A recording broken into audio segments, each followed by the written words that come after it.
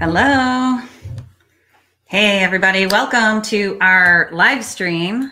Uh, I wanted to make sure that I got on because we haven't been together here on YouTube in a while. I got some new streaming software, so hopefully it won't be as glitchy as it was last time. Um, and I would love to answer questions.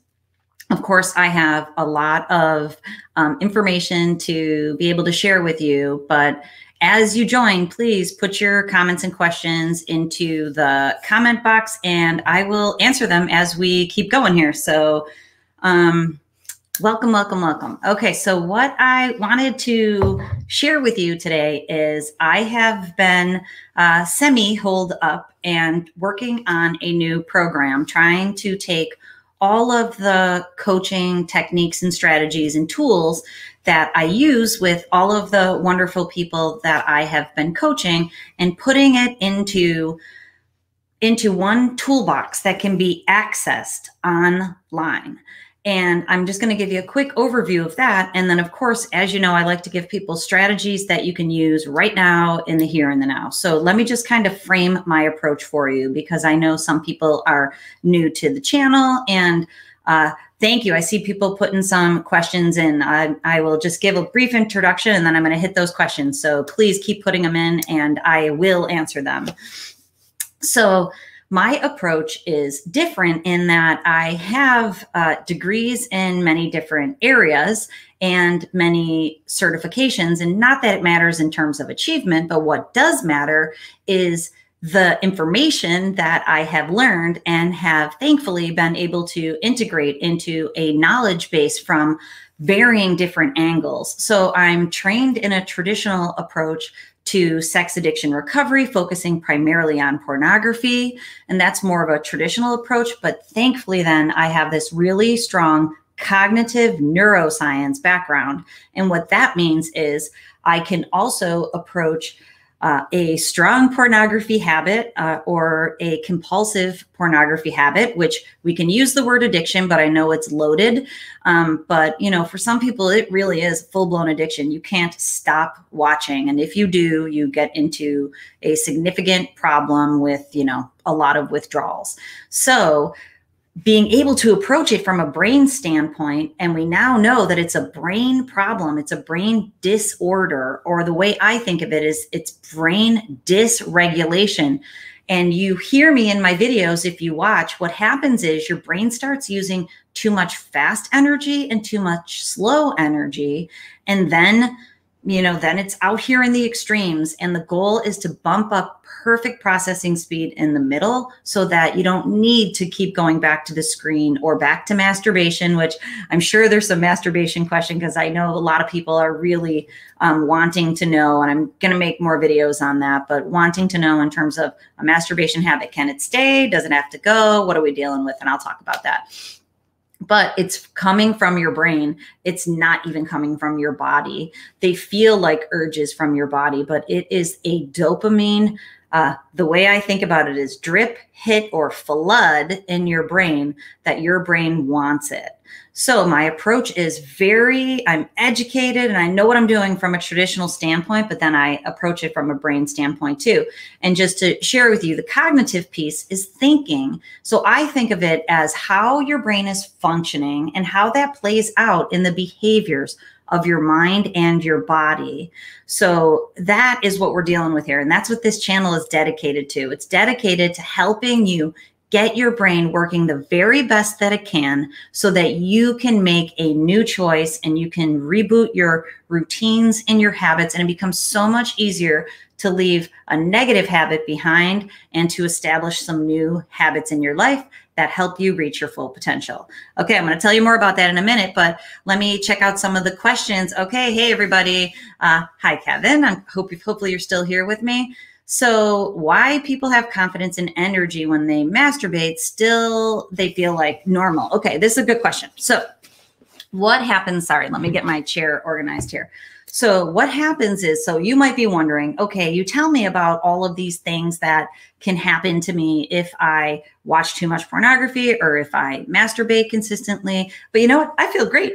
And you know what? Actually, my ba- my brain feels good. And I, if I had a dollar for every person that told me that they think that their habit is helping them think, I'd be a very rich woman. I'd be on some beach right now. No, I'm only kidding. I'd still be here because this is my purpose. But you get my point. So what happens is it does make your brain feel great in the moment.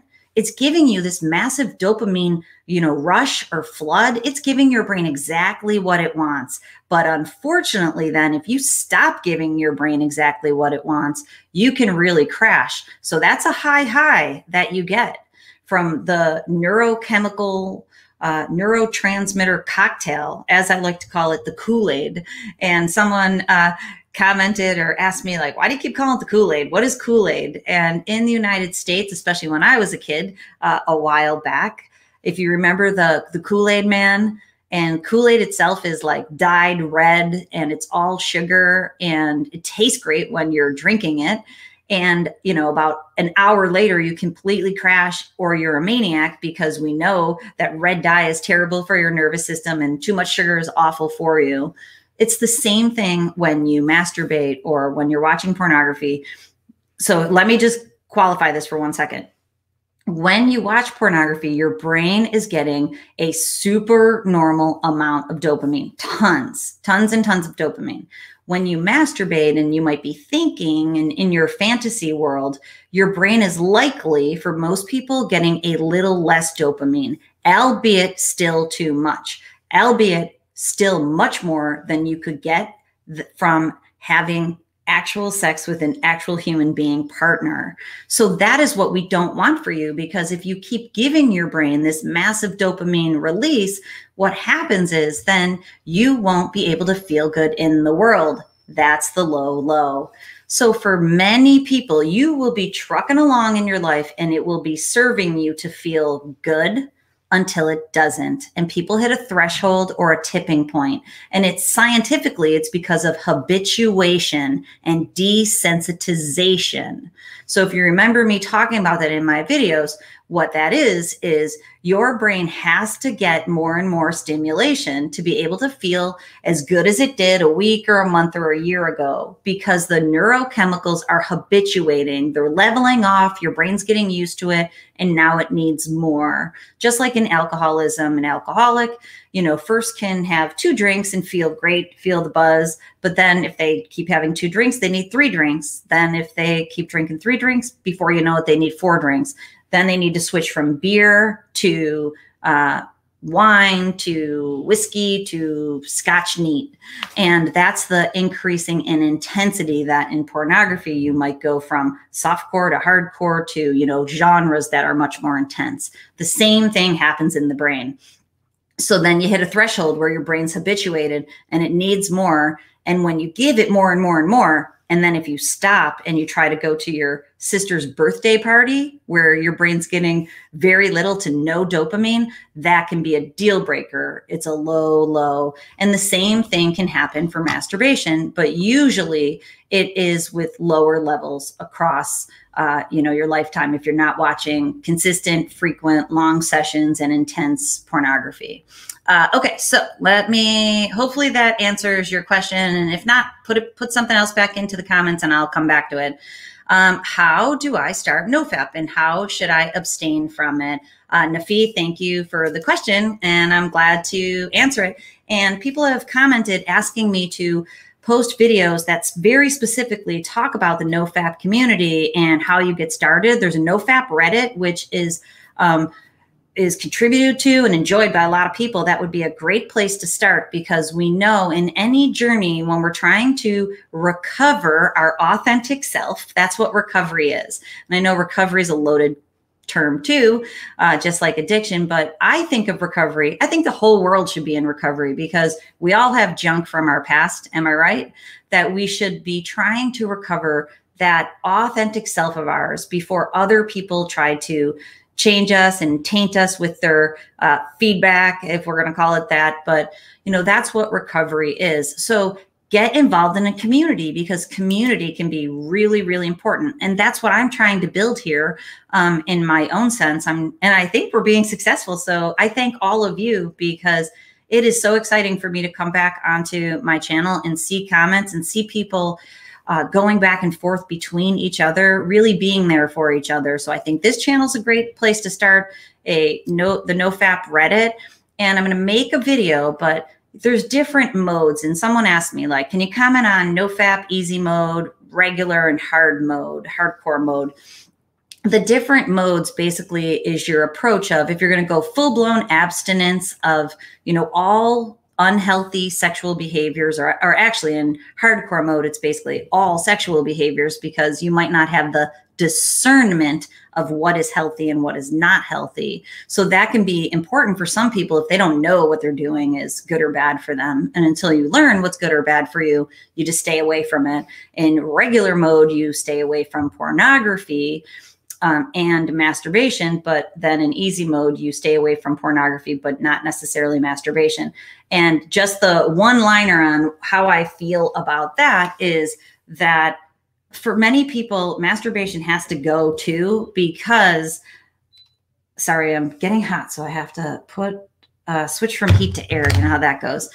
For many people, they, masturbation's part of the porn pornography habit and you really should abstain from that for a while because if you keep engaging in it it will make it harder for you to stay away from pornography. And that's what i call the slippery slope. And in the new program that i'm developing i'm having an infographic made uh, about the slippery slope. And i saw someone put a comment like what's the slippery slope and how do i stay away from it basically I, the analogy i'm going to use here is one of if you've ever gone skiing which by the way i'm terrified of i've only done two times uh, it's the biggest argument my husband and i ever got in which is hysterical in retrospect because he made me take ski lessons. And i had five little babies at that time and i was not up. My brain thinks all the time i did not want to take ski lessons. But uh, which was really cute. My son Declan had them hold the lift for me so I could get off. He was like five years old. It was super sweet.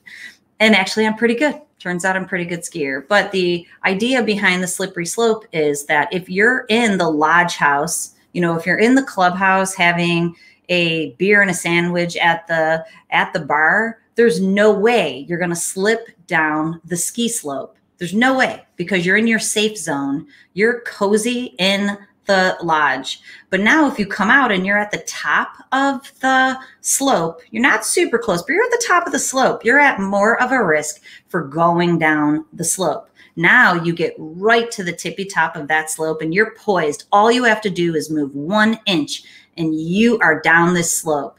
That is the analogy of the slippery slope. There's basically three levels that you can keep yourself out of your triggers and your stressors to stay away from your habits.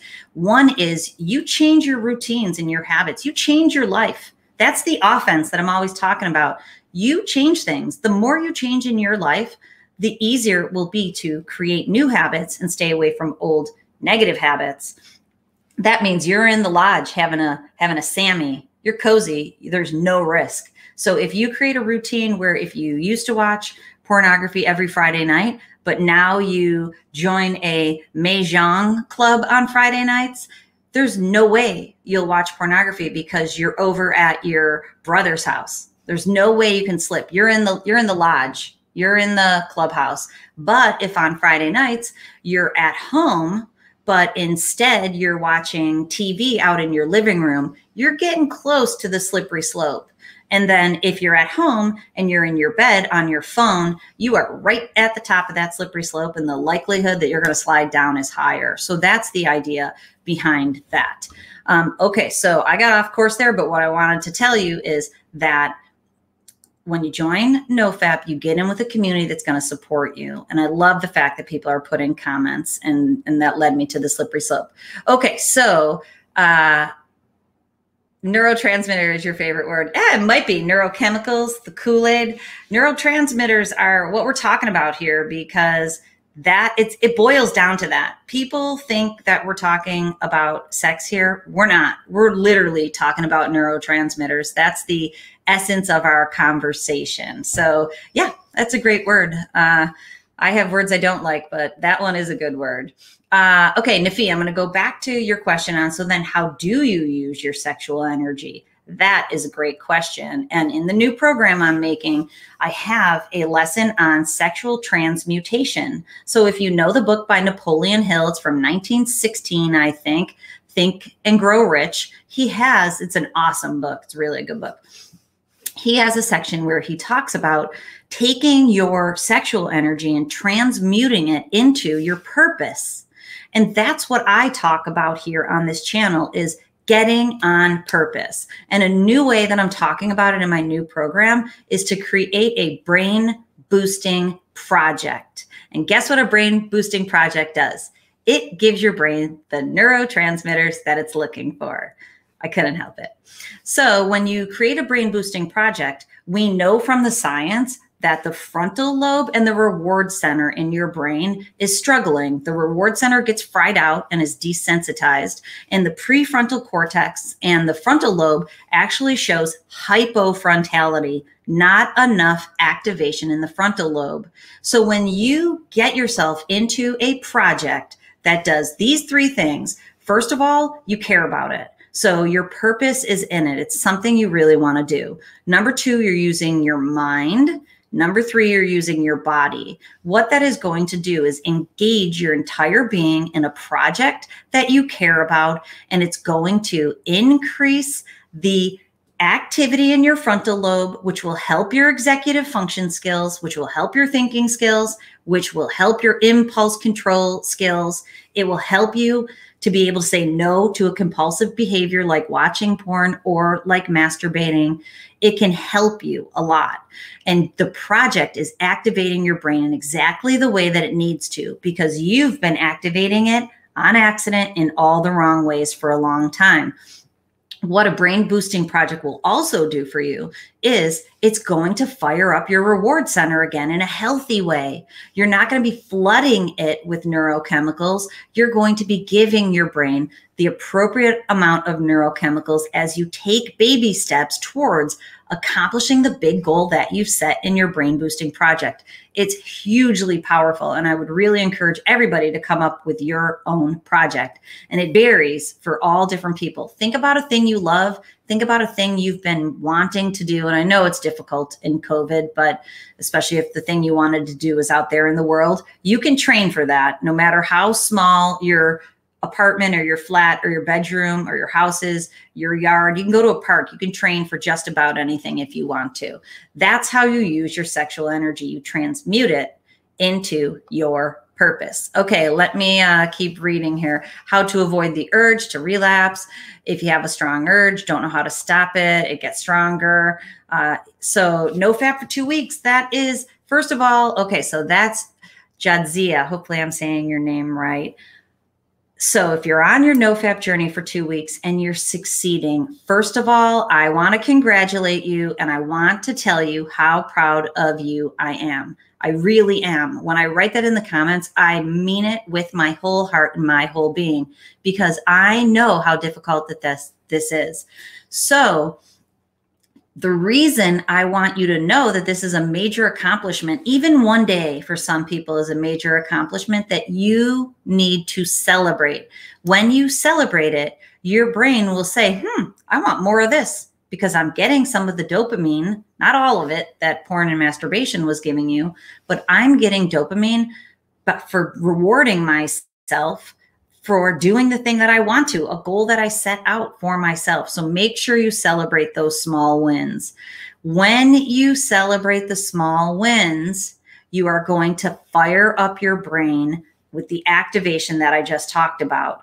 And I made a video, I still have to post it. Uh, my assistant doesn't work on Fridays, and I just made it yesterday. So I have to post it. I'll post it when we get off. Uh, I made a video on how porn disrupts your thinking and what to do about it. And the reason that that becomes important is because what I say in a nutshell in the video, and it's all based on science, which you know I love, it shows that when you start using these thinking skills that I'm talking about, and I break it down in the video, that it that it helps you to be able to have less cravings and less urges and to be able to get through them better because you're using your brain in an optimal way. So when you use your brain properly, it gets stronger. The stronger it gets, the less you'll have cravings and urges. So I always tell you in the videos, use as many of the strategies that I'm putting on this channel. More is more. So if you watch the videos and and I would encourage all of you to get a journal out and start writing some of these things down because they will accumulate. They're like exercises. The more exercises you start doing for your brain, the easier it's going to be for you to get through the cravings and the urges. So, the number one thing that you can do during a craving or an urge is to have a plan ahead of time. Think of that craving or that urge as you are standing on the top of that ski slope. So, if you were standing on top of the ski slope and you felt that you were about to go down this massive hill, what would you do? You'd run. You'd have less than five seconds. You'd have about three seconds to pivot, turn, and run towards the lodge you need to have that plan ahead of time. You need to know what your lodge is. So obviously, the lodge is just an analogy. The lodge is the activities that are going to keep you away from the top of the slippery slope. And I would encourage you to come up with a nighttime pivot, plan and a daytime pivot plan because it can be difficult to have the same plan for the middle of the day or for the middle of the night. And you hopefully have broken down your cycle and tried to figure out kind of when you're most at risk for being at the top of the slippery slope. Those times you need to know what you're going to be doing instead ahead of time. And then you need to know what you're going to do instead of giving into the cravings and urges. And then when you succeed, reward yourself for the small win because in the reward you get dopamine and you will move forward in your journey. It all comes together. These strategies all work together. Uh, okay so i hope that helps you out. Uh, okay let's see who's here. Anjan hello what's going on? Uh, according to me like your name. How's it going? Let's see Okay, so Danny Man writes, kind of embarrassing, doctor. Some of my friends posting some sexy photos. Should I delete my Instagram for 90 days? Uh, yes, yes, you should. I know you don't want to hear it, but uh, as the mom of three beautiful teenage girls, I know exactly what you're talking about. They don't, girls don't even mean to do it. I know I should start a whole other channel. Someone's like, you know, talk about all the triggers out there. They're totally out there and you need to stay away from them.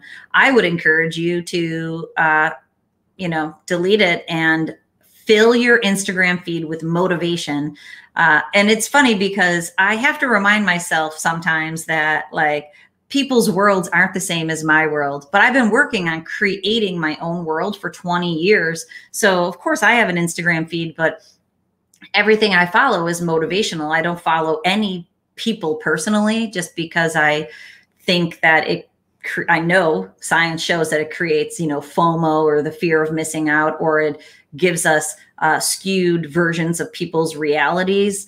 Uh, so I just don't even follow anybody personally. I don't see what's going on in people's lives. So I don't see any pictures of other human beings. And I would encourage you to do that. Fill your feed with motivation and motivational quotes and motivational ideas because it's amazing when you put that into your brain. There's a ton of science behind the positive psychology it's called and it came it's martin seligman out of Penn State is where he's the father of positive psychology. So we know the more positive things you put into your brain and your nervous system, the more the negative things bounce off and you don't even, you start to not even see them anymore. And I know that because that's what I do. All my feeds are just filled with things that, you know, give my brain positive juju, as I call it. So yeah, you know, I'd encourage you to get off it forever. And I know, you know, if you're younger, you have friends that are on there, but and it's the way that you connect anybody who is doing anything too sexy, you know, connect with them on the phone when they're in their champion sweats. Connect with them on FaceTime so you get the real version of them, not the, you know, Instagram version of them. Uh, okay, so hopefully that helps you out, but definitely during the reboot period, but recognize it's still going to be a trigger for you um, you know, even in the end. And just to comment on the 90 day reboot period, because people ask me about the 90 days, the new program that I'm creating comes in basically three different levels. There's a 30 day jumpstart program, there's a 90 day blueprint, and then there's a complete essential guide that has everything you could ever need. And 90 days is kind of a bar in the recovery movement. So we know 30 days is what it takes to definitely jumpstart the brain and the nervous system in the right direction. 90 days kind of helps your nervous system to ebb and flow across 90 days. You'll have highs and you'll have lows and it gives your brain time to unwire the pattern that it's had for so long and to rewire in a healthier version of itself. And you kind of can for most people ride out most of the intense storm if you're going to have a storm during those 90 days. And then you have balanced levels in your brain much more so. Plus, you have the tools. If you're following a program, it'll take you 90 days to really hit a nice rhythm of using techniques and strategies and and changing your life. Really, you're changing your life for the better, and you'll be more on purpose. You'll feel healthier because your brain will be clear. You'll be more motivated to do the things that you want to, and it takes 90 days for that to kind of even off. Um, okay, hey Sarah. Hey, Mohammed, how's it going? Uh, let's see. Stevian Stev from Slovakia. I have a friend who's from Slovakia. So I, uh, I am glad that you are here. Does weed help quit porn? Mm, you're not going to like the answer here. Yes, it does help theoretically. I always feel bad because I promise you, I'm not a total buzzkill. I know that I probably seem like a massive buzzkill, um, but I have to kill your buzz here a little because we know that most times from the science, most times when people establish a, uh, you know, well, I'll just talk about a frequent, consistent, and intense pornography habit, they usually have multiple, you know, addictions or compulsions going on. Marijuana being one of them, alcohol being another. That's kind of the usual trifecta is you have a drink or two, smoke a little marijuana, watch a little YouTube or play a, a, little video games. I guess we'll make that four video games. And then before you know it, you're watching porn and masturbating for a long time.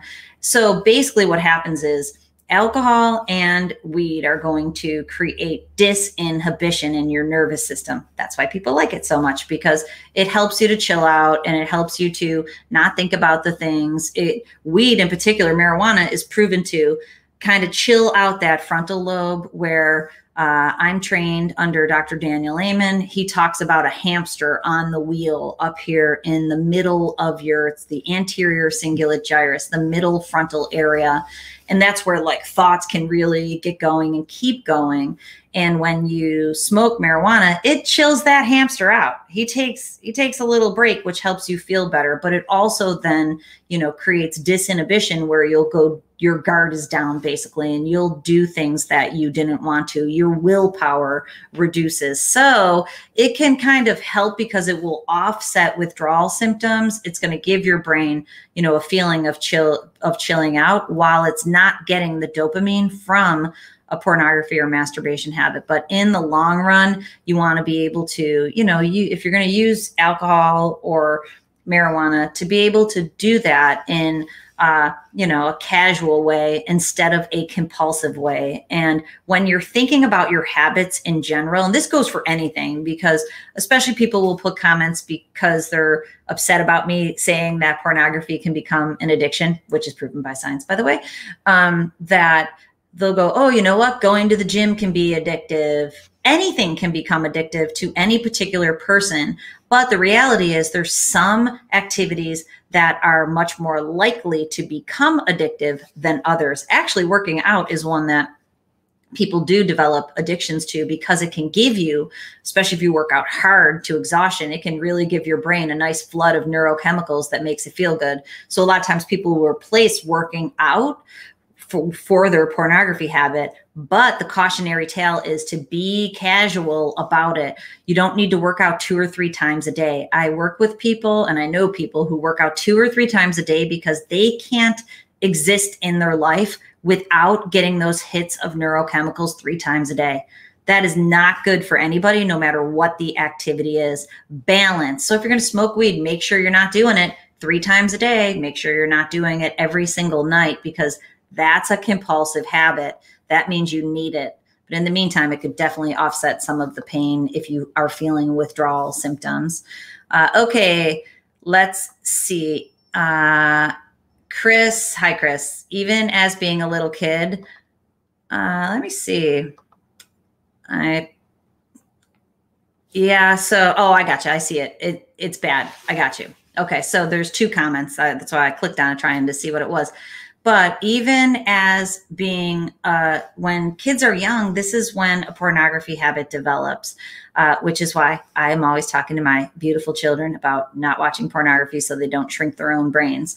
And it used to be science showed that it used to be exposure was around 11 years old now it's eight years old which is just mind blowing to me that our kids are at such risk. So if you're out there and you have children, I encourage you to get the strength to talk to them, especially as you uh, become stronger in your own journey and you conquer it. There's a book out there that's called Good Pictures, Bad Pictures that parents should use to talk to their kids if they don't know how to talk to their kids in another way. Because, yeah, Uh, at eight years old, if you're exposed to pornography, what science shows, there's studies that show that the impact of pornography on younger brains, the younger the brain, the more easily it can get hooked on pornography because of the neurochemical release that happens. So it can get really bad, really fast, and really young for kids.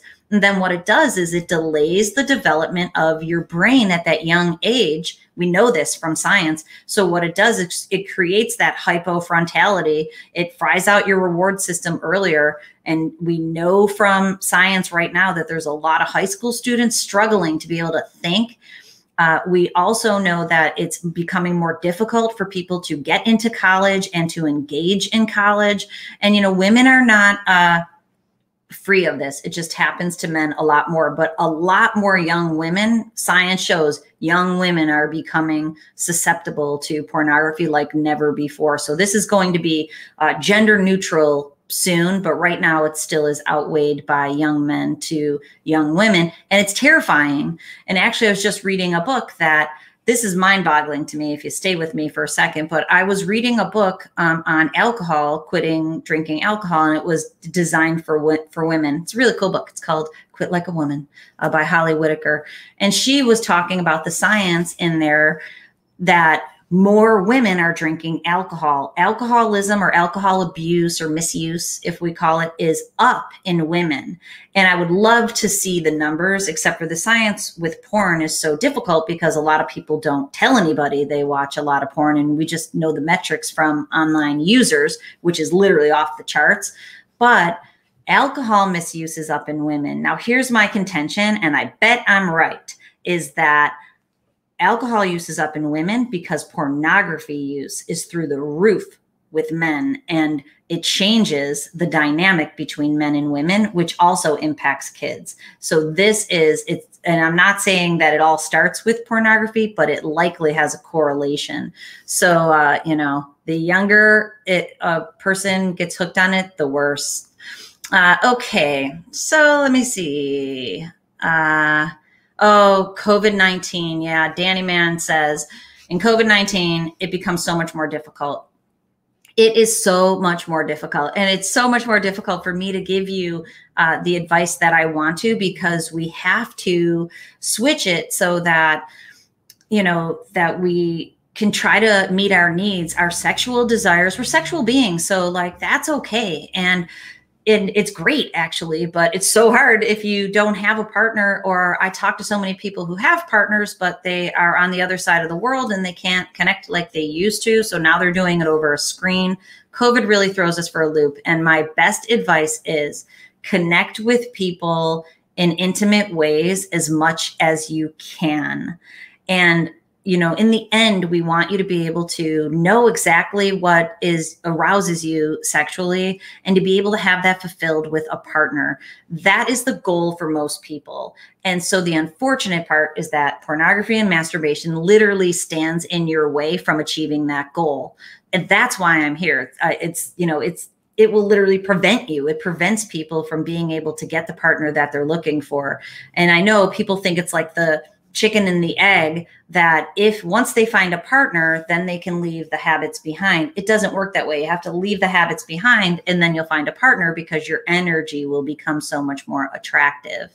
Um, and actually, I'm going to stay on this point for just a second, if that's okay, is that in my new program that I'm totally psyched about, I have been including notions from a book called Power versus Force. I love to read. If you need a book recommendation, reach out to me because I am a voracious reader and I try to integrate it, and most of it's based on neuroscience. But the takeaway from this book, which is amazing, he's a PhD MD, is that this is what I talk about, but I was thinking this is a great way that people can probably wrap their minds around it is that our brains are working either out in the extremes, too fast, too slow, or with perfect processing speed in the middle. And then that changes the electrical energy field around your body. And I'm always having a discussion with my oldest son, Declan, who's 17. And he's always like, Oh, you're going to tell me it has to do with my energy. I'm like, Yeah, it does, dude.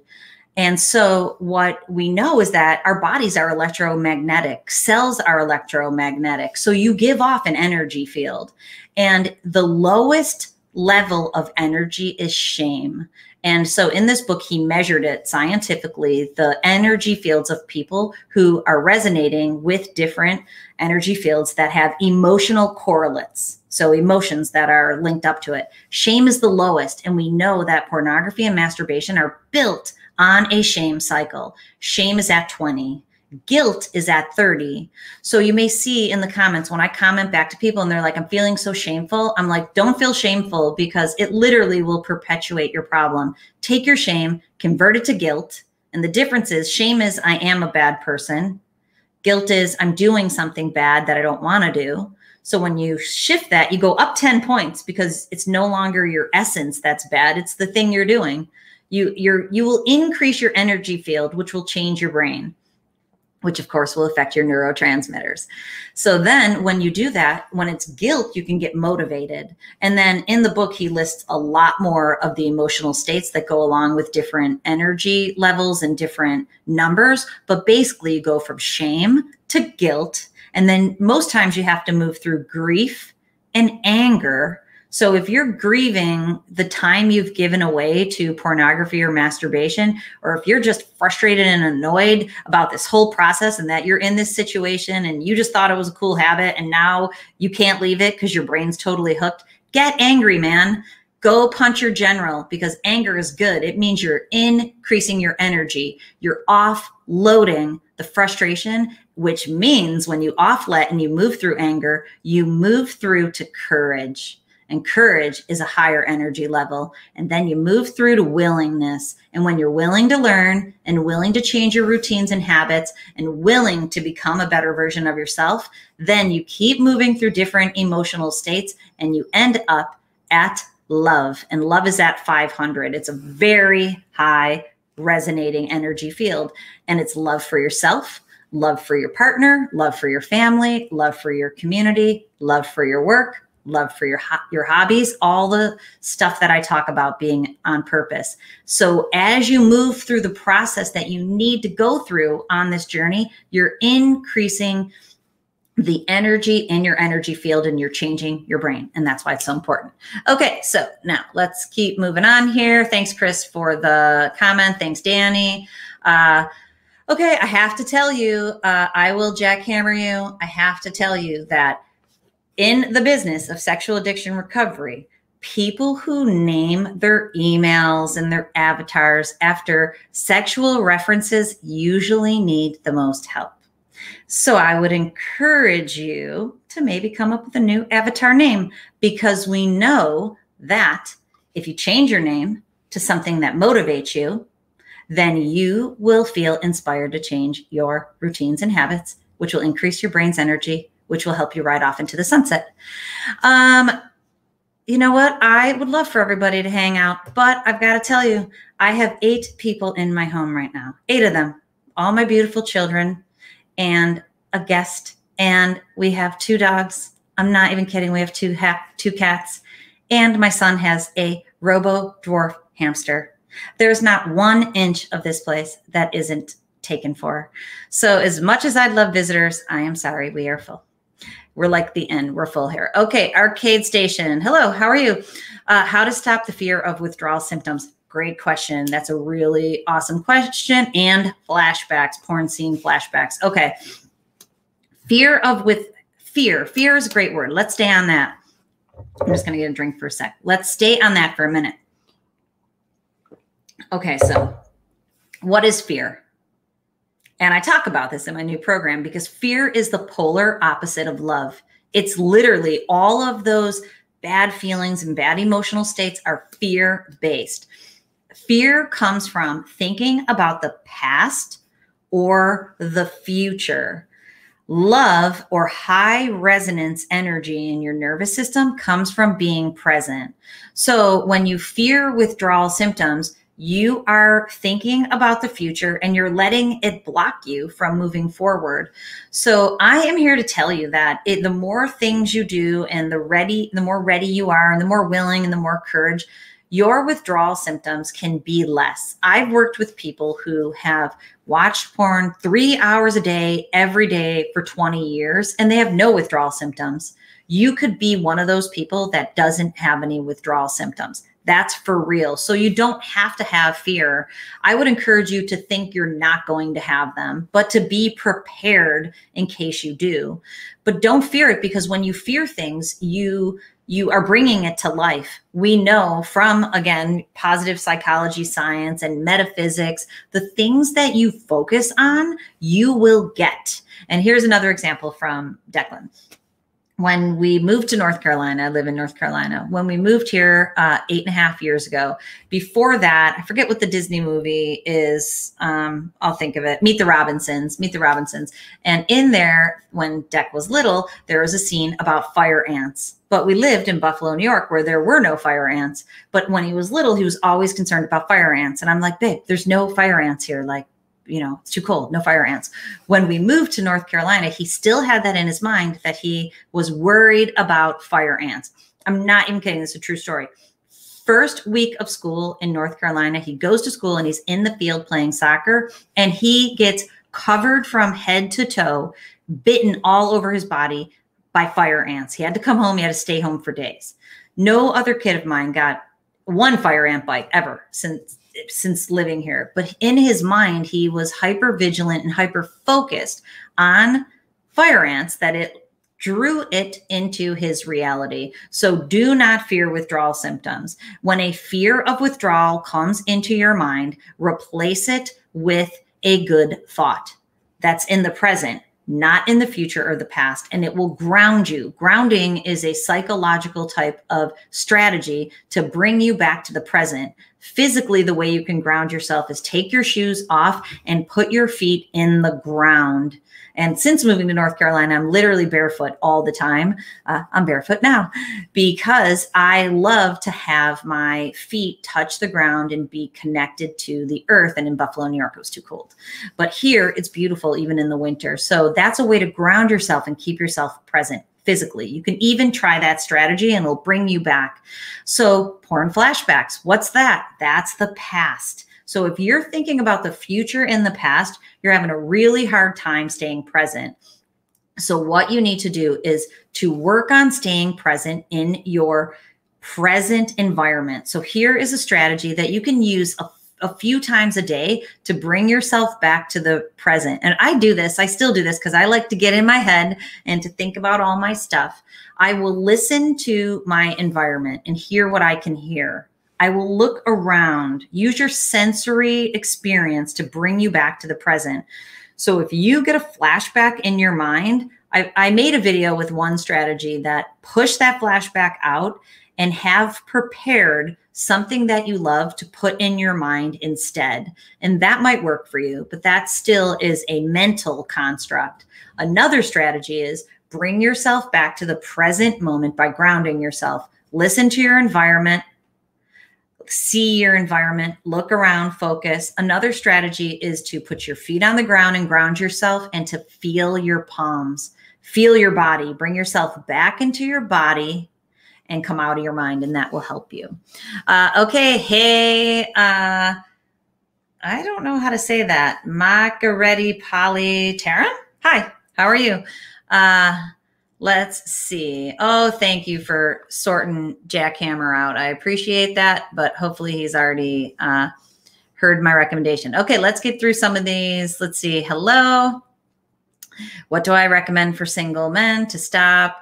Uh, a lot of it's applied to married men, but not much. You know, it's not really applied to married men. I don't mean to do that, um, but but maybe. But what I'm trying to encourage everybody is if you want a partner, most people want a partner. So whether you're married or not, most people's goal is to get a partner. So my focus is on that because I want people to be able to establish healthy sexuality with another human being actually here in the world. Um, but being single, and this is this is a shout out to Daniel. Uh, being single is very difficult. So I've made a few videos lately on, you know, what not to do. But if you're single, and I know someone wrote, she doesn't know how hard it is being a single man trying to find somebody if you're single, if your goal is to find a partner, then I encourage you to approach sexuality as a way of trying to find a partner. And, you know, I don't want to encourage anybody to continue masturbating because it is a slippery slope. But, you know, if in the meantime, that's the NoFap easy mode. In the meantime, if that's something that can help you with your urges and desires, but I would encourage you to seek out other people. I know it's not easy. My comment back to the person who's like, she doesn't know what it's like to be a dude trying to find a person. I know what it's like being a human being trying to find a partner. And that is not an easy prospect for anybody. But you won't be able to find a partner that you really connect with unless you put yourself in a position to try to do that. And uh, I told somebody the story, which I probably shouldn't even share here, but for me, I don't have a lot of, I have two best friends, but I don't have a lot of friends because honestly, I don't really want them because I'm busy and I like working. I have the hubs, I've got a million kids. I have a nice inner circle, but I've made a goal to try to find more emotionally mature friends to you know expand my circle even in covid-19 and in covid-19 i've been successful at doing that by joining a few online types of uh, things that seem cheesy, but it's a way for me to be able to get out there. And I've actually connected with another woman who were becoming friends, which is a goal. And I'm throwing myself out there a bit to try to find another human being to connect with. That's what I encourage you to do. If you're going to use dating apps, think of it as natural way that you would try to find a sexual partner, a partner for for some time. It doesn't have to be for marriage or for life. And actually, a book that I'm also referencing in my new program on healthy sexuality after you recover from sex addiction. That book says that there's, th- and it's based on science, Helen Fisher's science. Basically, there's three steps in finding a sexual partner. The first is lust but it can be healthy lust if you see someone from across the room and you know you're digging them and they're digging you and you're vibing your energy. My, my children have asked me, my daughter Sersha asked me to stop saying the word vibing. I'm sorry. I it's, it's like neurotransmitters. It just comes out. So if your energy is connecting with another person, then that is attraction and it should be lustful, right? Because if you don't know a person and you see them from across the room or you see them on Zoom game night that you signed up for begrudgingly because Dr. Trish Leigh told you to, if you see that person and you feel a connection, that's the beginning of it. But then there's two more phases of of healthy sexuality and getting into a relationship for healthy sexuality. Phase 2 is bonding. So it goes beyond lust. It goes beyond just wanting to be with that person for physical pleasure and sexual gratification. So then that's a bonding moment. And that's when you decide you want to be with that person exclusively for some amount of time. You don't have to marry them. You don't have to, you know, devote your entire life to them, but you, you and the partner make the decision that we're in this for a while together. We are a couple. This is a coupleship. And then if you decide to build a family, and it, it goes back to evolutionarily that, you know, we're designed to have sex for procreation so that we can build families and carry on the human race. So to be able to move to the next step, three, phase three is that you go through some hard times with that person it's not lust and it's barely bonding but it's rupture and repair where uh, you know i've been married to my hubs for 20 years we've had a lot of challenges that you know test the limits of our relationship and then we come back together and we're able to get over those challenges together which makes our relationship stronger. And it makes our physical relationship stronger too because we've gotten closer because of these other elements. That is what i'm looking for for people because that's most people's goals. So do some activities that put you in touch with other people so that you can start with that glance across the room, have some lust, go for some coffee, do some bonding, maybe have dinner a week later, do some more bonding, move you into a sexual relationship. And I know that that is, you know, not the answer people are looking for, but that is the way to do it in, uh, you know, this day and age. Okay. So, let me oh my old comments are gone and i don't know if i can see them because they're they're continuing to go here so uh thank you. Thank you for the support james and jackhammer. Uh i am here for you all. I would there's no amount of money you could pay me to run the country. Uh yeah porn is suck Sikath. Uh, I'm sure I'm butchering that, but yes, porn is incredibly harmful for girls. I made one video because uh, I don't want to focus on girls so much on the channel because I know it's this is a epidemic for young men. So very harmful for girls. And in that video, I talk about the science that shows that it becomes more addictive earlier for girls and it's harder for girls to come back out of that addiction. So that can be really damaging. Uh, okay, sites like OnlyFans, I know, uh, David, uh, sites like OnlyFans, uh, what girls gain from producing that comment. Unfortunately, we know from science too that I had this discussion with my beautiful daughter, Fiona, who's 15.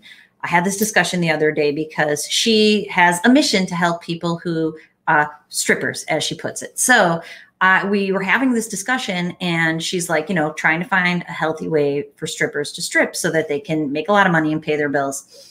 And you know, we had a discussion that kind of springboarded off that. Most people who are putting themselves in a position where they are allowing their bodies to be objectified have low self esteem, even though they may not seem to on the surface. Science supports that. So that's the reason that people are putting themselves out there in sexy images or on OnlyFans. It's because that is how they are gleaning their self confidence and self esteem. Now, if you've been around my channel for a little while, and this is in my new program because this is fundamental. You have to fill the holes inside yourself and not need anybody else to. You have to be whole and healthy to be able to be with another person. So, girls who do that, they're trying to fill the holes inside by having other people uh, comment on how beautiful or how hot they are or anything like that. When you feel good on the inside, you don't need that from someone else. Here's an example. And I love my husband. I adore my husband. Uh, I bought what I think are these cute, they're not that sexy because I have five children who are here at all times. So it's just not appropriate. But I bought these little pajamas. I think they're great. He hates them. so I put them on. I come out like, you know, all my kids are around, but I'm dancing around. They're kind of little because it's like a million degrees in this house all the time these days. Anyway, he's like, those are the worst. And I'm like, good thing I don't need you to like them because I love them and I still love them, even though he doesn't like them. And I don't need him to. And, and he doesn't need me to like his stuff. He'll come out and he'll be like, uh, what did he say? He was wearing a hat. We went for a run the other day and his hair was sticking out weird from the front. And he goes, uh, how does my hair look? And I said, should I answer it like Trish would answer or should I answer it like Kaz would answer? Because Kaz would go, your hair looks bad. And what it meant was, yeah, your hair looks weird sticking out. But I said, looks fine. Let's roll. But so the point is, he doesn't need to. Like, he doesn't need me to like his hair. He can go to work wearing his hair or his, you know, shoes and the way he likes it because he doesn't need me to like all of his stuff. That's how you get whole and healthy on the inside. And when you leave porn behind, porn's filling some holes for you, whether you know it or not. It's filling a need for you. Uh, so when you leave it behind, the reason I design my programs the way that I do is because you have to fill the holes yourself. You have to get confident. You have to be on purpose in your work. You have to love what you do. And I talk to people all the time in consultations, and they're like, I have two jobs and I hate them both. And the first thing I say is, then you need two new jobs. You can't go to jobs that you hate every day. And I gave the example. I've, I've, talked about all of my kids. I might as well just talk about the last two of them. But my daughter, Afa, had a job she didn't like, and now she works at Starbucks. She's totally loving it, totally rocking out. She's a different person because she goes to a job she loves opposed to going to a job she doesn't like. I'll find a way to talk about Seamus in a few minutes. But uh, okay, so let's see. I abstained from PMO for 30 days. This is Alex. Um, hey, Alex, abstain from P- PMO for 30 days, then relapse for two days. Did, did I lose all my gains? No, absolutely not. And I'm going to talk about this from a brain perspective. And I am putting together a playlist, but I'm definitely making a video over the weekend where I talk about this. And I'm going to make some videos that have slides just to show you a couple brain things. And just since we're here, uh, shameless plug for hopefully Instagram once I start doing it consistently. I'm going to put all the images on Instagram too, because that's an easy way for me to fire up an image with something that I'm talking about. Um, but what I was going to tell you is I work with so many people who are on this journey and they're using the brain training headband. I'm going to make a video this week on explaining it in detail and showing you graphs of what you can see basically every time you do a brain training session, it's teaching your brain to make that better energy in the middle. It produces a graph of brain performance that you see immediately on your phone. And then if you're working with me, I get it in my online dashboard. So I pull people's graphs up and I can see when they've relapsed in their brain graphs because it'll look you know, typical or typical for someone who's recovering from watching porn. And I will explain what that looks like in a video. But then there will be a day where the way that it measures it is if your brain is active, neutral, or calm. And most people's brains start active and across their session becomes neutral and they dip into the calm for a little while if you've had a relapse, you give your brain this massive flood of dopamine, and then a person will get on their session and they'll be 95% calm which like is very difficult for the average person. Almost impossible for someone who's you know rebooting their brain from a porn habit. So my point is when you if you go 30 days and then you have a relapse just know that you flooded your brain with dopamine but you've only done it once in the 30 days so you you haven't lost all your gains, but you need to. It's going to take a day or two for your brain to come back from that dopamine flood, and then you need to get back on the horse.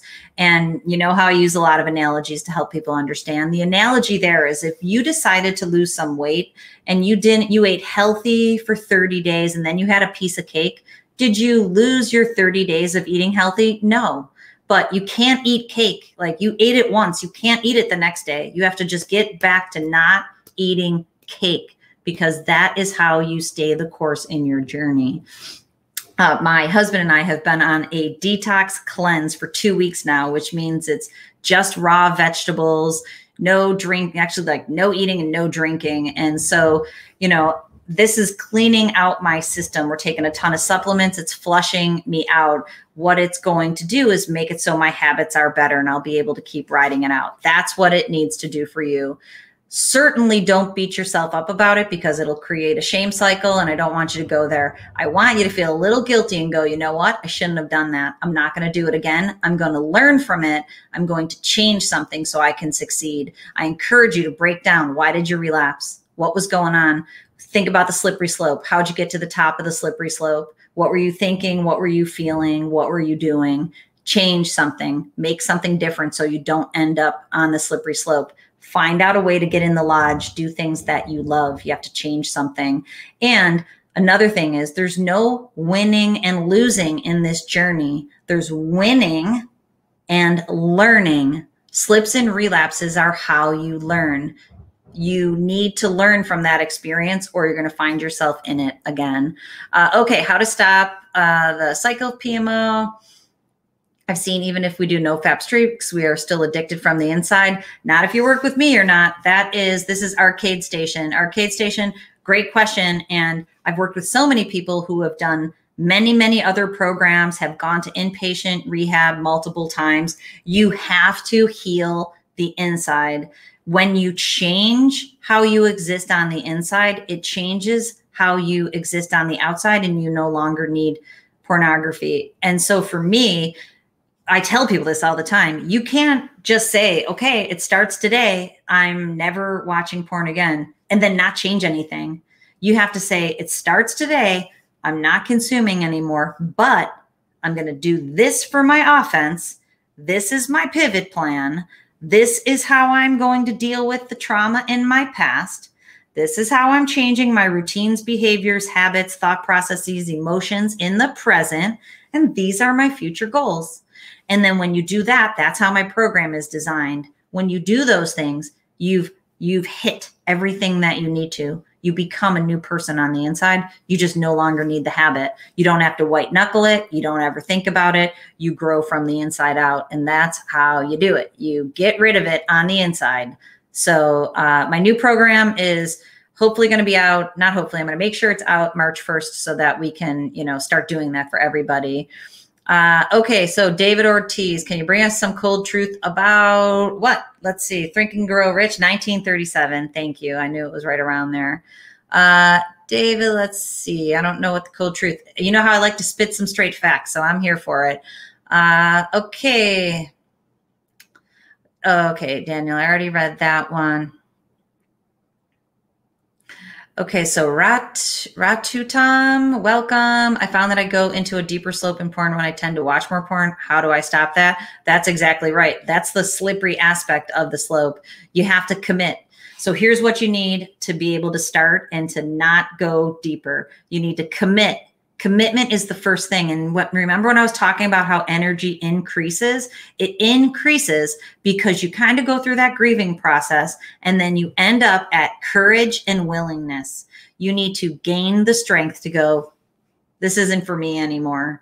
And it doesn't even have to be judgmental. It is like, this habit is not serving me. And that's why my husband and I did the detox cleanse because we're like, we've been eating too much junk, we've been drinking, which is not our normal mojo. And, you know, hashtag COVID 19. So we're like, we need to reboot the system. And it was a commitment. And it's been easy to not eat food, uh, even though, you know, you, you may want to so it's like i'm committed to this and it just becomes easier then you establish discipline and it's not necessarily willpower i know we talk about willpower a lot but it's more like discipline so you're establishing new routines and habits that comes from discipline and you know you work out when you're supposed to work out. You do your work when you're supposed to do your work. You spend time with your family when it's family time. That's discipline. You follow a routine.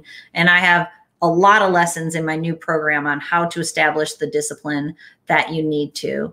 Uh, Will your face change when you quit porn? Yeah, your everything's going to change, my friend. That's Chris's comments. Everything changes. You look better, you feel better, you move differently, you're more confident, your energy in your brain and body changes. You become more attractive. You'll pull people to you.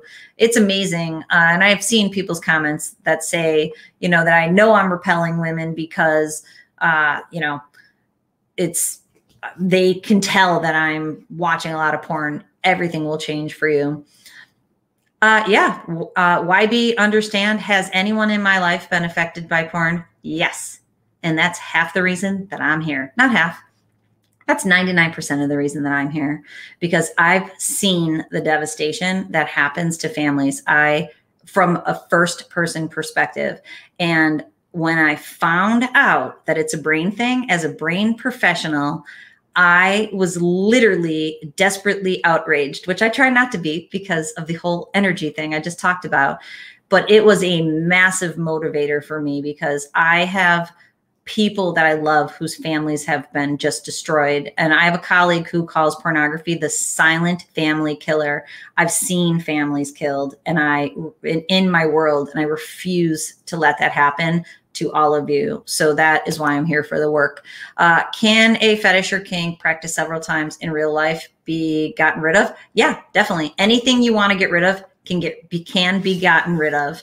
That's the reality. So uh, fetishes, I've talked about this before, and they come in all shapes and sizes. Really, what a fetish is to me, at least, is what can happen and does happen many times the way that a fetish develops is something happened in your real life surrounding an activity uh, sexual activity or some type of scenario. Sometimes there's trauma. Something was performed on you when you were a little child.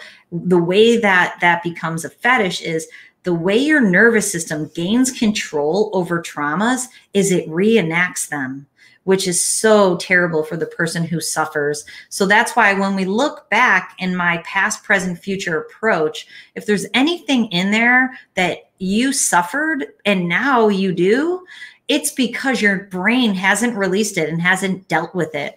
What a trauma like that does is it creates neuro rigidity, like gets this hold on your brain. And so that's the opposite of neuroplasticity. We have to free your brain from that neuro rigidity so it can become plastic again and it can change the way that it's performing so you can live your best life. So the reason a fetish might develop is because something may have happened in your past that created this neuro rigidity around this act. Then you start either acting it out in your life or watching it in porn. It can also just be established from watching it so much in porn. So if you're watching the same thing and there's all different genres and all different acts, if you're watching the same thing over and over and over, it is grooving a neural pathway in your brain that will want to be grooved over and over and over. And the way to get rid of it is to no longer go down that path, let that path grow over and go down a healthier sexual path. But it can absolutely be gotten rid of uh, because it's just a matter of not doing, you know, not going down that neural path again. Um, okay, so let's see. When you mention your brain shrinks, do you mean it's activity or literally physically? Literally physically. Isn't that incredible? And that's Bazad. Thank you for the question. Um, I'm going to put the picture today on my Instagram feed of there is an image of a healthy brain and these aren't my images. I have different images from QEEG brain maps, which I will put up. They're just a little bit more abstract and it can be more difficult to understand what you're looking at. But I'm going to teach you all how to look at it and then you'll be able to know. Um, but there is a PET scan and there's fMRI scans that I'm going to put up. The PET scan shows a healthy brain and it's all rainbowy colors, but basically you can see that it's full. The color is filled out. Then there is a brain of a heroin addict that has some holes, and that's holes in size and activity. And then there is a brain of someone who's been addicted to pornography and it has even bigger holes. So the science shows that your brain actually shrinks and the activity decreases, which is terrifying. But the good news is going back to that freeing up the neuro rigidity and getting neuroplasticity going, your brain can change. It can heal completely. Our nerve, are all the cells in our body basically are always regenerating that's why sleep is so important. I have a new uh, lesson on sleep in my new program. Sleep is when our cells regenerate and restore themselves at night. And I know pornography, you know, you know, because I talk to a lot of people, can really disrupt your sleep cycle. So when your brain's getting restorative sleep, when you no longer watch porn, your your cells will heal themselves and your brain will become it's basically fat on your cells the myelin is fat your cells will beef up and become fatter and healthier and your activity will increase simultaneously and i have worked with lots of people who not only get back to where they were but they become better um, okay, so Kendra talks about wants to know about urges, which I think I've already talked about. Do, do urges um, mess with your reward system? Great question. Um, uh, and the I'm going to give you the short version be, so we can I can try to get through the rest of the questions so we can wrap up in just a few minutes. Um, so when you have an urge, if you have a thought that pops into your mind, it will release dopamine. So I'm calling that a dopamine hit. So if you're on Instagram, you're looking at images, you're and you're cruising through, you're getting dopamine drips. If you have a thought, you're getting a hit of dopamine. It's a little bit bigger than the dopamine drip than that you've seen on an Instagram image the longer you linger in the urge thought, even if you're able to stay away from giving into the urge or craving, the longer that you linger in the thought, the more dopamine you're giving your brain. That's why you want to get out of that thought right away. Either ground yourself, get back to the present, or think of a different thought that gives you dopamine so you can couple the dopamine release to a new healthy thought because you want to break that cycle of porn thought, urge, craving, dopamine. That's the pattern interrupt that we're going for. Uh, okay, I hope that helps. Let's see. NoFap for 30 days. Want to know why it's wrong to masturbate?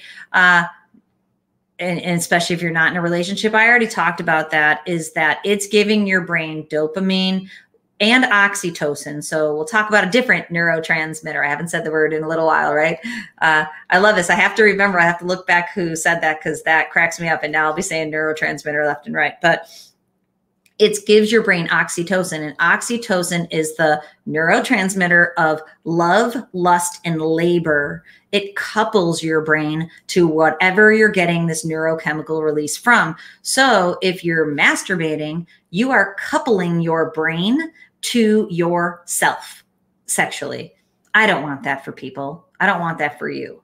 I want you to couple your brain to a lovely human being in the world also known as your honey, uh, because most people want a relationship. And, and we can talk about the people who don't want a relationship in a minute, but it's the 99.9999% want a relationship with another human being and want to have sex in the real world. So you can't couple your, your brain to yourself because if it's coupled to yourself, it doesn't want to be coupled to another human being because of desensitization and habituation when you masturbate, you can give yourself so much more stimulation and arousal and sensation. And especially if you're coupling it to fantasy in your mind from pornography that you cannot possibly get from a partner. So it will make it almost impossible for you to couple your brain to another human being.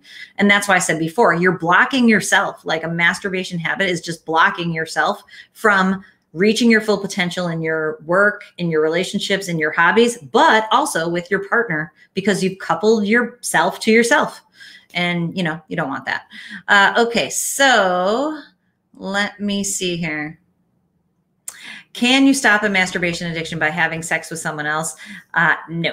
Unfortunately, not unless you stop masturbating and you're having sex with someone else, you're staying present and you're rebooting your brain and you're rebooting the arousal levels. So, I guess the answer is yes, if that's what you meant. Like you're going to leave masturbation behind. Your brain will unwire from the masturbation habit and it will rewire itself onto a person. That's definitely what I am a proponent of. Um, how do I determine when someone needs therapy? So I'm not a mental health professional, I'll tell you that. And I always put that in the comments. And um, I proudly am not. So uh, I was actually, I needed one more credit to be able to be a one more class, three more credits um, to be a mental health professional. I chose not to do that. And I actually was accepted to medical school, which I also chose not to go to. Um, but how someone needs therapy, is it's really to me it's like the levels of support a person needs. So in the programs that i'm creating it's coaching but it's all based on neuroscience and sexual addiction recovery uh, which i'm trained through the american academy of sex addiction therapists. So um, but it's the amount of support a person needs. My new programs have three levels of support and you can choose which level you need if you need a little support, I'm here for it. Medium, large, plus then there's accountability coaching and neuro coaching. So if you need a lot of support, breaking down your past, your present, and your future and creating what you need to, then you need more support. And then you may need to add the brain training headband, which is so helpful for so many people. Um, you know, it's the matter, it's a matter of support. And usually it's self-awareness, the ability to move through a program by yourself and to be able to follow strategies and to implement them, to learn from them. Uh, so I guess like if you're autodidactic, meaning you're a really good self learner and you don't need a ton of support, then you might not need therapy or more support. If you need someone to tell you what to do and to hold you accountable to that, then get that support because that is how you will be um, successful. Okay. Uh, okay, so I don't know if it's S Sneal, Sneal Y man, uh, Sneely man. I don't know. But, anyways, your question is recently my partner has been into watching as well with me. We both regret it afterwards. Our, I already have a problem. Her wanting to makes the temptation heavy. How to approach stopping. Okay. Now, I work with a lot of partners and I have for a long time too. I will tell you that and I could be wrong about your particular partner, but I'm going to tell you what happens with partners along this journey. And this is a journey. You watching pornography for two years, five years, 10 years. If your partner's been with you, they've been on that journey with you, even though you don't know it and they don't know it. And we can talk about that later. But they may, your partner might be saying, you know what, I'm going to watch with you because she, I think it's a she, yes, she knows that you're going to watch it without her. So it's a way for her to try to control or or have some say in this. So she may have without even knowing it convinced herself that if you and her watch it together that it will be better for your relationship and that you don't have to stop because she can teach yourself to like it. There's so many women who do that. That is a band aid, my friend. That's going to last this long. So I would encourage you to leave the habit behind for both of you. Likely she's not even that into it because that's what happens for most women, especially if she's like coming on board with this and she hasn't had her own habit um, established before. You know, we know women can have a habit established, but her coming into it with you, it's time to end it. And how you approach stopping is you yourself stop. And she'll probably stop too because she's probably not that into it. You can join my programs when they're out. I have my $50 short course, which will be available until the new programs are available. It's a huge value. If you haven't signed up for the $50 short course, totally encourage you to do it because a lot of people have emailed me saying that it's a really good tool for them to get started. Um, so do that. It would really help you out. How do I deal with guilty conscience after that I'm somehow becoming a closet misogynist by relapsing? That's a real thing because we know porn creates, um, you know, low grade hatred for women, even though you might think you're appreciating them. So use your guilt for motivation. Do not beat yourself up. Say, you know what? This is the thing that I don't want to be involved in anymore.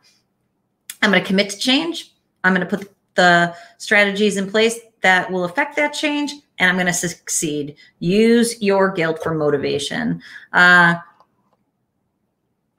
let's see. Do competitive games help both physical and esports. Yeah they do because it'll give your brain a uh, a brain boosting project. So definitely but again don't play especially if it's esports. I love the idea of esports. Let me talk about my beautiful son Seamus, who is a, an epic gamer. He has a twitch account and he's all twitchy and he streams and all that but you know you have to modulate that just like i modulated for him because prefrontal cortex prefrontal cortices and frontal lobes don't develop until you're 28. So you really don't want to do any excessive gaming, but the competition aspect can be really good for you because you're on purpose, you're using your mind. And especially if you're out playing actual soccer, you're using your body, but esports can do the same thing. What do I mean by reward yourself? Literally reward yourself and think of five things that you like that are not sexual and triggering. Five things that you like. We know food works.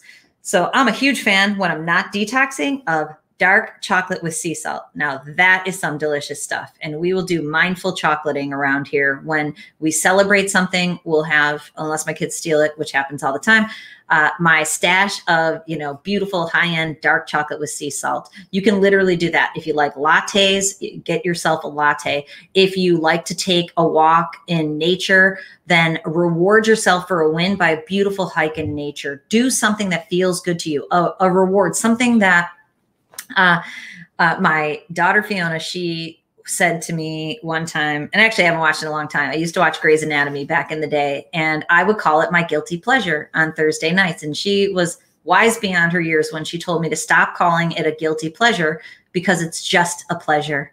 I thought that was awesome. But for me, it was the only one hour that the kids would not come near me and they were young. And I would go and watch TV and, you know, have like one hour solitude where I didn't have to get off the couch. And it was amazing do something like that for yourself. Um, okay, so get yourself. Is it possible for porn to kill someone? You know what? That is a really good question. And I will look that up to see if that's ever happened. What is more likely is it's probably like um, head injuries with you know, football players in that. You know how there was a movie called Concussion with Will Smith out, which was very, what I was going to say is I probably won't be able to find the science, even if it exists, because it's a controversial aspect. And we know that when people have multiple concussions, it basically leads to death, but it's this wild chain. And I'll tell you it real quick because porn's probably the same way. And if it hasn't been proven yet, guarantee it'll be proven like this in the future is that when it comes to head injuries and concussion, one concussion, it knocks the energy in your brain lower, just like porn does, and it damages the cells. So your brain basically becomes smaller. It's a very similar mechanism from a physical trauma, and it's called chronic encephalitis. So CTE, chronic traumatic encephalitis, meaning you've had multiple concussions. So your brain's energy goes lower and it keeps kind of shrinking because the cells are dying, they're not regenerating.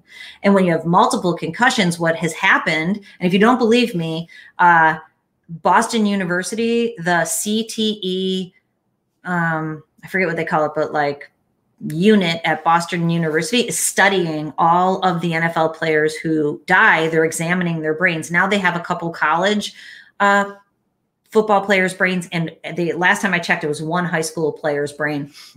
And what it has resulted is it leads to mental health issues like anxiety and depression, mood swings, all the stuff that porn leads to. Then it leads to impaired decision making and impulse control issues.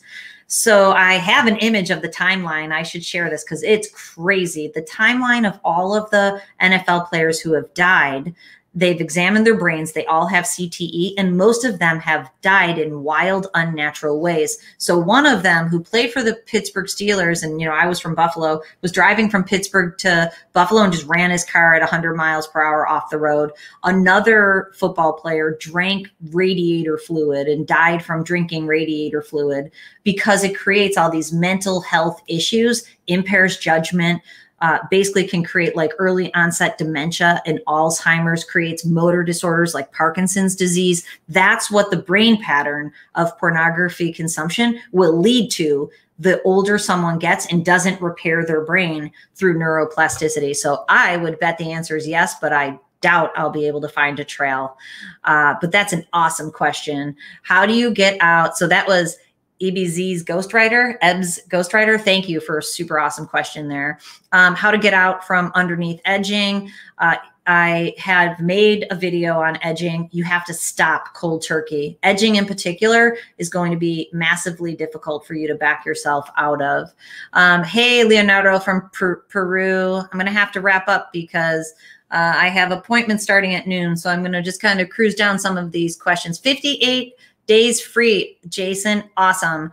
Uh, yeah, I know, tough being single, my friend, but the benefits outweigh uh, the losses there. Is addiction to porn almost as bad as cancer? Uh, I say it's worse because uh, we have methods of, um, you know, curing cancer these days. And if you don't stop your habit, you know, it's going to affect your system in a very same, in a very similar way. NoFap for five months. Shaheen or Shaheen 096 or feeling stronger. You got it, my friend. Keep going. Uh, yeah, someone, you know, EBZ's Ebs Ghostwriter says it should be outlawed. It totally should be outlawed, but that can't be my mission, unfortunately. I care about people. I'm here to support you all, not to go after the man, even though I have historically had a damn the man approach, but Absolutely.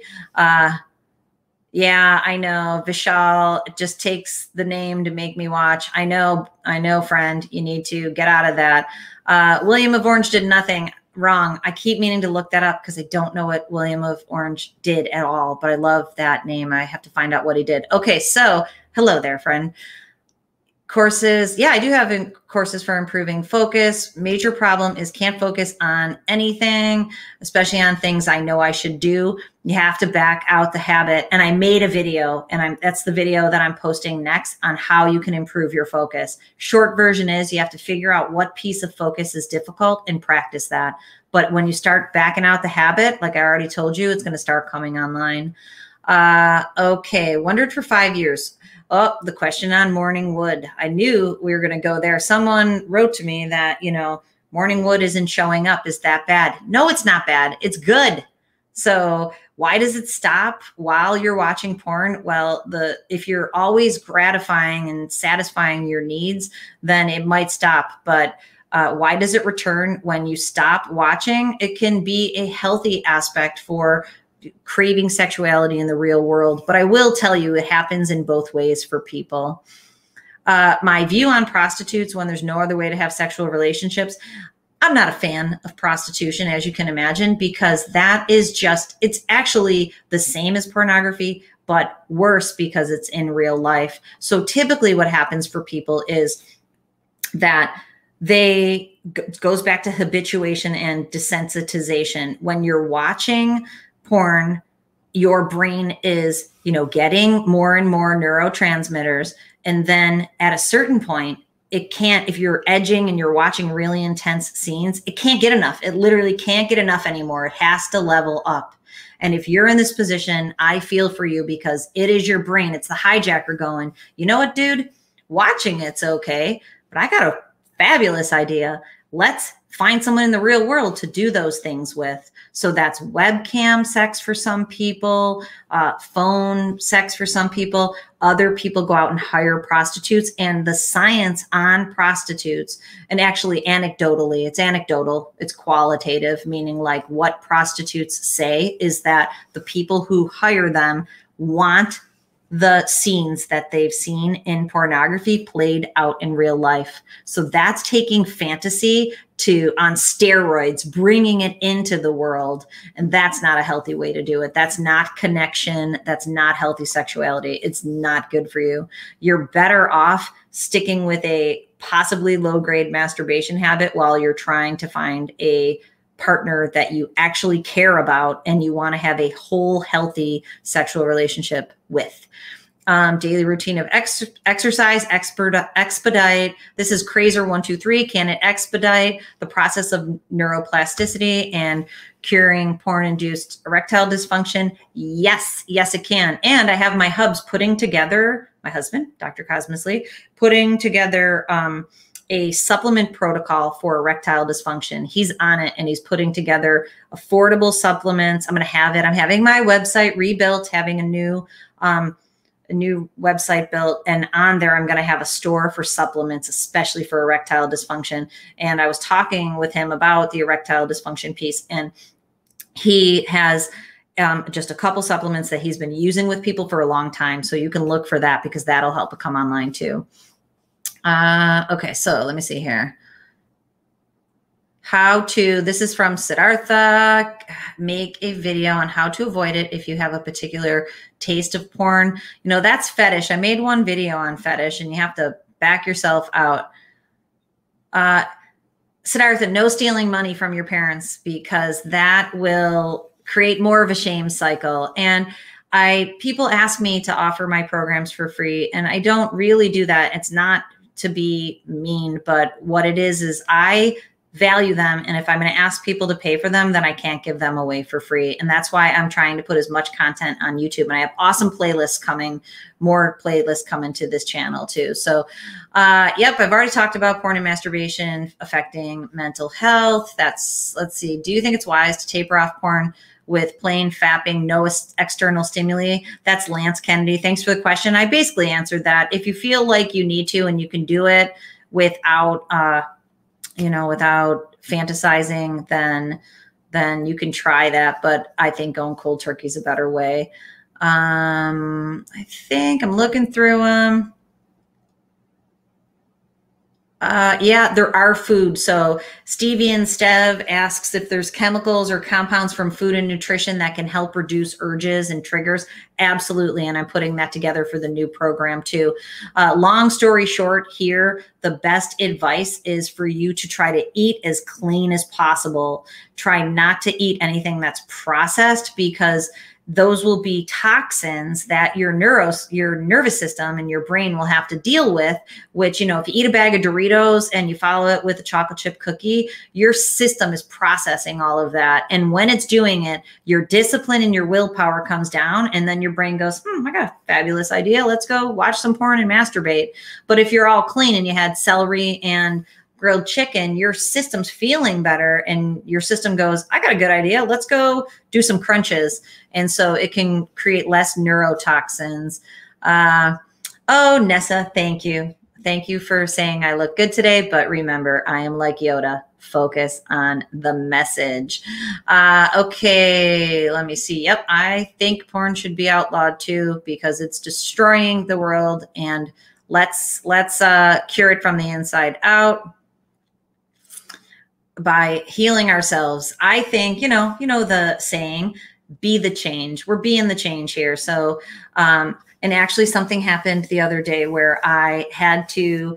Um, actually, my son Declan, he was really cute, and he he said one thing. I'm trying to think of what he said. Oh, he said, "Don't be annoyed," which I try not to be offended by anything, but he said, "Don't be annoyed by that because the people who are annoyed are the ones who carry the burden." And you know, he got that from me, but he fed it back to me because I was frustrated about a professional who was objectifying and using sex to sell their highly professional services. And that's all I'm going to say because it's going to become a rant but I was really upset by that because I'm like, this is like the least coolest thing I've seen in a long time. And I was going into attack mode, which I try not to attack. Then I had to remember I am trying to be the light in the darkness here for all of us. So when you shine light on something, the darkness goes away. When you create darkness in yourself and you go towards darkness, there's just more darkness. So we're going to be the light. We're going to be the light in the world here. And we're going to change. Um, we're going to help people help themselves and we're going to create a ripple effect of change. If you yourself stop watching porn today and you can be successful and your demeanor changes and there's no more Dr. Jekyll and Mr. Hyde, your children's demeanor will change. Your partner's demeanor will change that's a ripple effect. Your parents will chill out without even knowing what's going on. Your employer, your interactions with your employer will change. It will create a massive ripple effect of change if you alone stop watching pornography and don't even worry about the industry. That is what we are going for. Um, let's see. Um, yeah, I'm going to talk about prostate too because semen retention mode damaging the prostate is I'm going to look up the science, but I know anecdotally that your prostate's going to be fine if you don't masturbate every day. You're going to be just fine. And we know from nocturnal emissions or wet dreams, your your system's going to offload it when it needs to. And it's going to do that when it's regulating. But again, the goal is if you're out to get yourself a partner and start having some healthy sex, that's just for a time while your system's rebooting itself uh, yeah, porn and masturbation kill motivation and enthusiasm. And again, it's because when you're watching it, you're getting this flood of neurochemicals that makes your brain feel so good that when you get back into the world, it can't get those neurochemicals and it feels so bad. You're unmotivated, you're not enthusiastic, your life can become depressed, unmotivated, anxious. Uh, it can really do bad things to you. That's also arcade Arcade Station asks about feeling blackness or brain fog. That's exactly what happens. It's the high highs from the dopamine and the low lows from not. And yes, it's very bad.